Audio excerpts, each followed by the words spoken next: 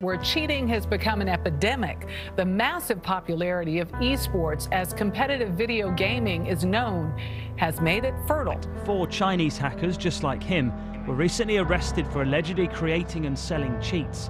Police say they made $140,000 before being arrested. They're extremely professional. If you look at, you know, if you look at some of the website offerings, you know, they have shopping carts, they have uh, pricing lists, you know, they have customer service. It's all about accepting who you really are. Accept who I am. And who are you? I'm the bad guy.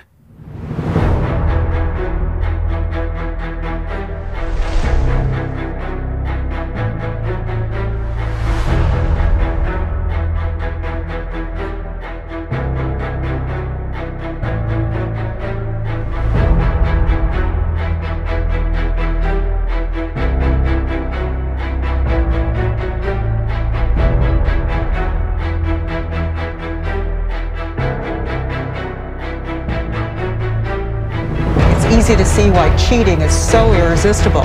Instead of getting crushed by the competition, cheats give you a sharpshooter's aim and the ability to see through walls like Superman. What Chinese authorities call the world's biggest gang of video game hackers. Ten were arrested for selling cheat software used in best-selling game titles like Call of Duty,